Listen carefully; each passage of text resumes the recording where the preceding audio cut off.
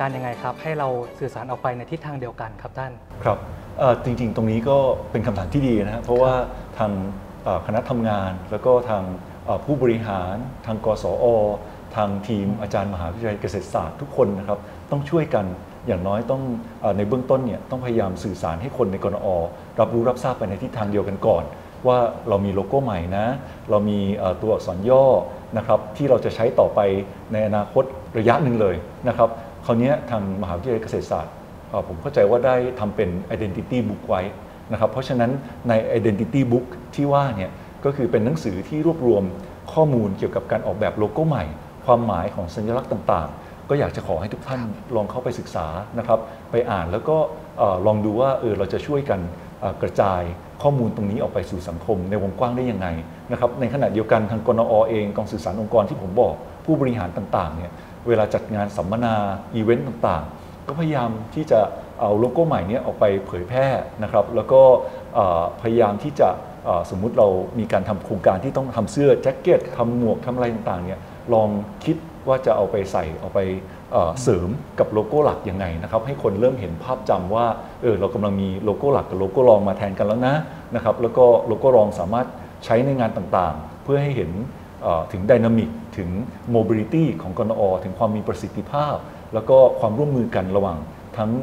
กนอเอง ผู้พัฒนาสังคมสิ่งแวดล้อมชุมชนอย่างไรนะครับ ตรงนี้ก็จะช่วยทางกนอได้มากเลยครับ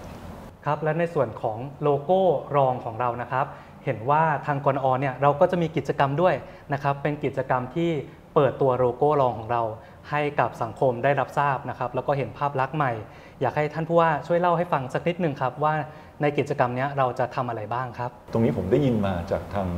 ทีมที่ปรึกษาของเกษตรนะครับบอกว่าในวันที่เปิดตัวโลโก้เนี่ยจะมี 2 กิจกรรมหลักๆ กิจกรรมแรกจะเป็นช่วงเช้า ก็คือกิจกรรมสัมมนานะครับเป็นการอบรมพัฒนาทักษะของบุคลากรชาวกนอให้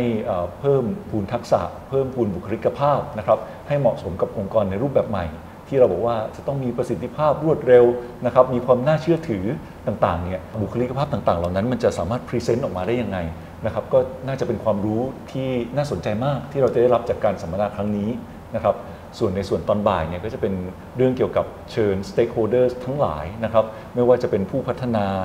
ผู้ประกอบการภายในนิคมชุมชนต่างๆ สื่อมวลชนนะครับแล้วก็ขาดไม่ได้ก็คือพระเอกของงานคือชาวกนอทุกคนนะครับเข้ามาร่วมรับรู้รับทราบนะครับว่าเออโลโก้ของพวกเราเนี่ยจะมีการปรับเปลี่ยนไปยังไงบ้างนะครับแล้วที่มาความหมายของโลโก้ต่างๆ นั้นน่ะจะเป็นยังไงนะครับมันก็จะเป็นสิ่งที่ทำให้เราสามารถจำเอ่อ สัญลักษณ์ แล้วก็จำคอนเทนต์หลักๆ ของโลโก้ใหม่ แล้วก็เพื่อที่เราจะได้ไปช่วยกันเผยแพร่ได้ว่าโลโก้ใหม่ของเราเนี่ยมันสอดคล้องกับวิสัยทัศน์ของกนอนะครับที่บอกว่าเราจะนำนิคมอุตสาหกรรม สู่มาตรฐานสากล ด้วยนวัตกรรมอย่างยั่งยืนนะครับ ตรงนี้ก็อยากจะฝากไว้ด้วยครับขอบคุณครับ ทุกท่านครับ และอย่างที่ท่านผู้ว่าได้เชิญชวนนะครับสำหรับกิจกรรมนี้ ผมก็อยากจะเรียนเชิญทุกท่านนะครับ ให้ ให้ความสำคัญกับกิจกรรมนี้ แล้วก็มาเข้าร่วมด้วยกันนะครับ เพราะว่าพวกเราก็คือบุคลากรเป็นอีกหนึ่งกำลังสำคัญเลยนะครับ ที่จะช่วยเผยแพร่ภาพลักษณ์ที่ทันสมัย และเป็นรูปแบบใหม่ขององค์กรของเรานะครับ